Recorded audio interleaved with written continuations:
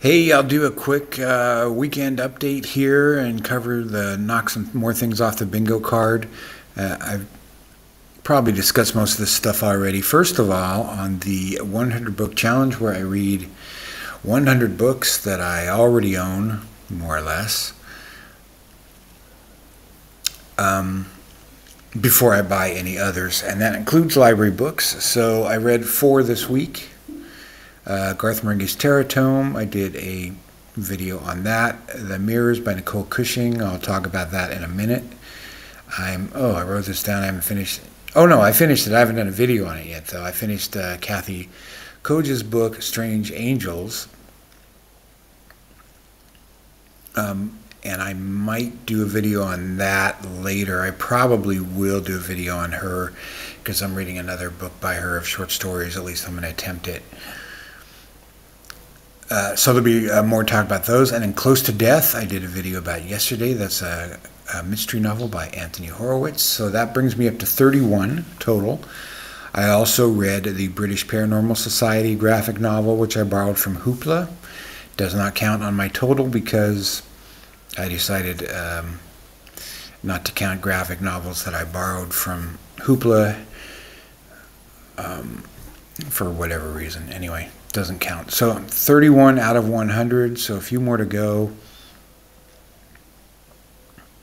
Okay, so th these are some of the books I talked about. Just to remind people, I'm always I'm always rereading this, listening to the audiobook of this. It's kind of one of my main Spanish training tools. Uh, so I listened to that again this week. No reason to go over that again.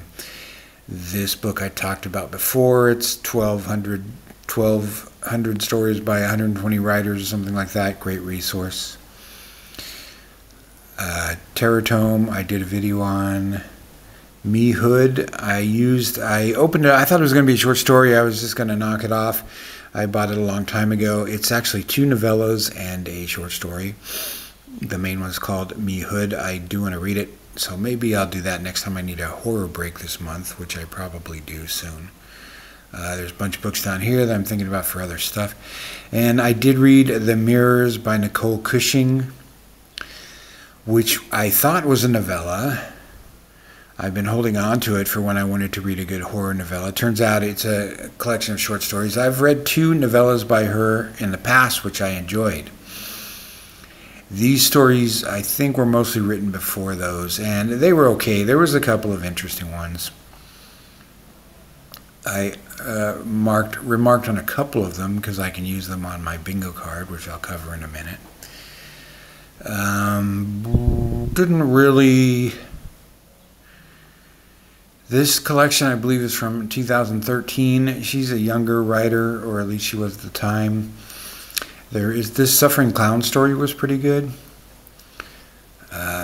Very stark imagery. The Last Kid Scared by Lugosi um, was interesting as well. It takes place on the anniversary of his on uh, oh 2031. So this was probably written like 10 years ago. It takes ver, uh, uh, there's involves an exhibition of the remains of Bela Lugosi on the anniversary of the release of Dracula, the Universal film that started all that off. I enjoyed that story as well. Not really much to talk about because it wasn't my favorite book this month, so there's no reason to belabor it.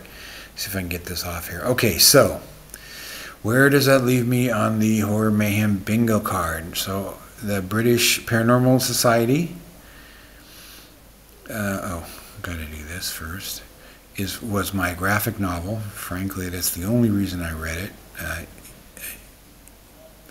you know what I thought about that, I guess, if you saw my video on that. Uh, Universal Monsters on my account. I was going to read, try and read the Bloody Red Baron by Kim Newman, which is a Dracula novel. Didn't get to it, but I can use that Bela Lugosi one. It probably fits more uh, strictly to the Universal Monsters anyway. Cult horror. I think there was thought I marked this off. I had to remark all these because I didn't save it last time after I did the video, so all my marks were gone. Uh, cult horror, probably think of something later. Translated horror, nothing. Psychological horror. That's pretty much everything I read. Um, well, the Kathe Ko Koja book, uh, counts for that, even though I haven't done a video on it yet. I'll still mark it off because I have finished it. Cozy horror, cult horror, kidnappings, cannibalism, elemental. Uh, got an idea of something I'm going to do for that extreme horror. Uh, the Garth Marenghi book counts for that because it was so absurd with his haunted typewriter and the body horror and stuff that happens to him in that. It's a parody of horror, so, of more extreme horror, so probably I could probably get all of these on there. Um, Cosmic. There was uh, there was a lot of. Uh, um, pseudo Lovecraftian stuff in that uh, Nicole Cushing uh, uh, collection. Curses, dolls. There was a clown, a scary clown story in that. I'll hold off on these others. Uh, I'm doing pretty good though. I don't translate horror. I'm sure there's some translations in that big uh, collection, but I haven't read them yet or haven't thought of them as translations. Probably the Japanese folk tales by uh, retold by Fano. I'm probably pronouncing that wrong. Would count. I think that's probably enough. Looking ahead to this coming week, I'll probably do a video of. Uh oh. Oh no! Here it is. Here's the original. Oh well. Anyway, I'm not going to redo it again. I'll, I'll redo it afterwards. Uh, do videos on Kathe Koja this week. Uh, a video on Anthony Horowitz, I, I think, is already up. Um, what else? Uh, I'm reading some Fritz Leiber.